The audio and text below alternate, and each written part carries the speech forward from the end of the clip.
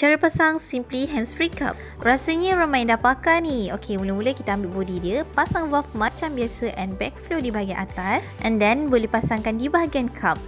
Di bahagian cup ni pula kena make sure betul-betul rapat tau supaya tak ada masalah gangguan suction. Pastikan tak bergerak and lock dengan kemas pada cup. Seterusnya boleh pasang silikon funnel pada cup. Pastikan lekuk di silikon dan cup selaras and boleh rapat-rapat-rapat kan? Okey, dah siap. Pasang cap for tubing dah pun siap. Nak attach dengan breast pump handsfree pun no problem. Yang dinanti-nantikan. Ha, kita boleh jadikan mana-mana je breast pump sebagai handsfree cup tau. Ha, cara dia senang saja.